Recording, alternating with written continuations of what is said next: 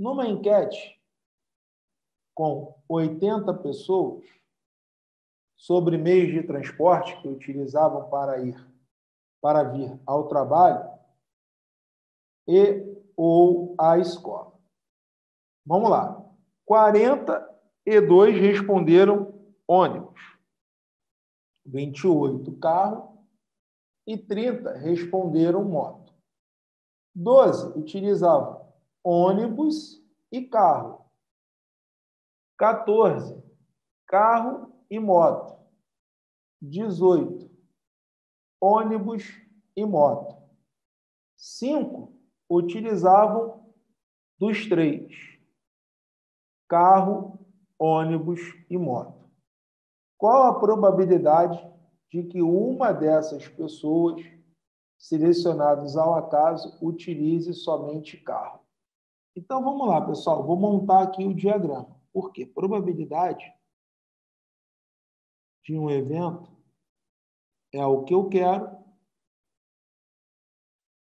sobre o total.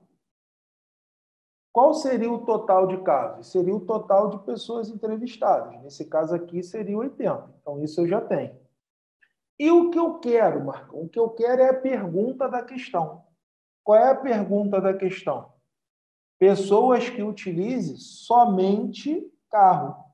Então, no diagrama, no diagrama, eu já sei qual é a região que eu tenho que encontrar. Está aqui 80, que é o universo. Aí está aqui, ó, ônibus, carro e moto. O que, que eu preciso encontrar para matar a questão?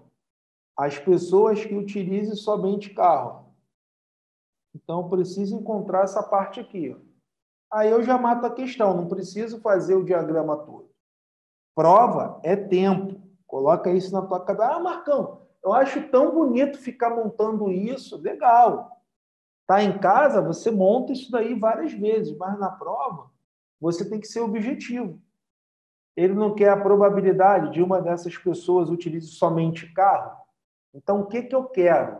Olha lá a fórmula. O que, que eu quero? Somente carro. Então, eu tenho que encontrar o valor daquela região ali. Combinado? Então, vou apagar aqui, ó. A gente já sabe o que a gente tem que encontrar. Agora vamos montar aqui o diagrama. Nesse tipo de questão de conjuntos, começamos sempre pela interseção dos três. Cinco utilizam os três. Então, já vou colocar o 5 aqui no meio. Aí, vamos lá. 18 utilizam ônibus e moto. Então, 18 é isso tudo aqui, ó. Ônibus e moto.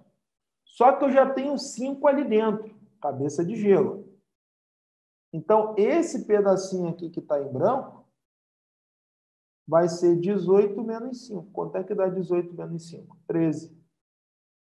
Legal. Aí vamos lá. 14 carro e moto. 14 carro e moto. Essa região aqui, ó.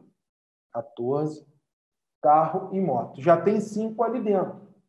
Então, aquele pedacinho que está em branco vai ser 14 menos 5. Quanto é que dá 14 menos 5? 9. E a outra interseção, ele diz o seguinte, ó, 12 ônibus e carro. Pô, já tenho 5 aqui, ó. Então, esse pedacinho que está em branco vai ser 12 menos 5. Quanto é que dá 12 menos 5? 7. Então, vou apagar aqui, ó. Já completei ali as interseções. Tranquilo.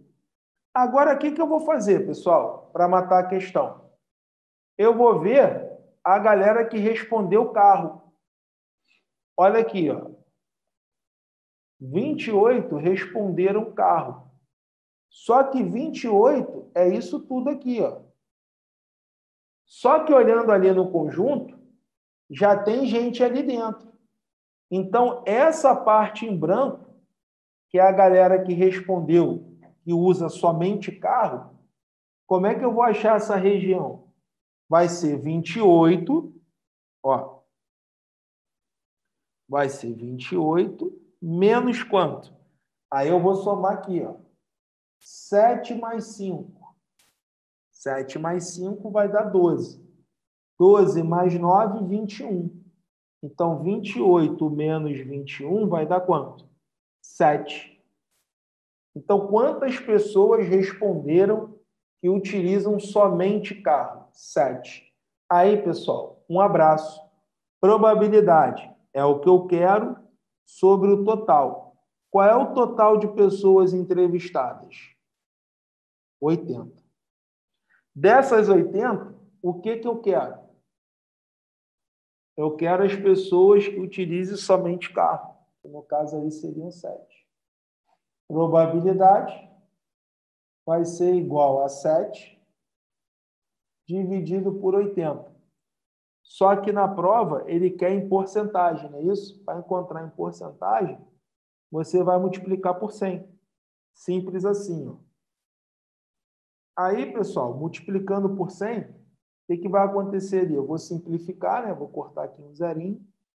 Ou, ou, organizando a bagunça, ficaremos com 70 sobre 8.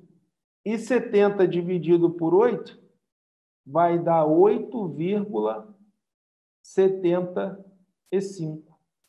Mais 8,75 o quê, pessoal? Por cento. Porque quando você multiplica a fração por 100, você acha o resultado em porcentagem. Então, 8,75%. Se você procurar aí nas opções, com certeza você vai encontrar essa, né, esse resultado